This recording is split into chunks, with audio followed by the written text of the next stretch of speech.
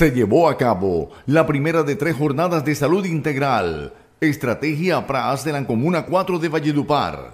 La ciudadanía acude con responsabilidad a practicarse la prueba de COVID-19 para salvar vidas. Seguimos con nuestros rastreadores de vida a cada una de las comunas de Valledupar.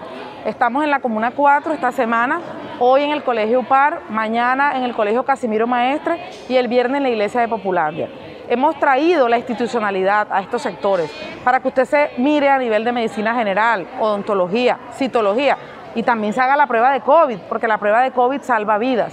No es exclusivo para esta población. Cualquier persona de Valledupar que quiera venir y aprovechar este espacio y llegar hasta estos sitios a recibir toda esta valoración es bienvenida por la institución. El alcalde Mello Castro ha querido, en articulación con Eduardo Arredondo, Secretaría Local de Salud y toda la institucionalidad del municipio, traer todos estos servicios más cerca de usted. Muy hermosa y, y muy agradecida por esta actividad que están haciendo de la salud por toda la comunidad.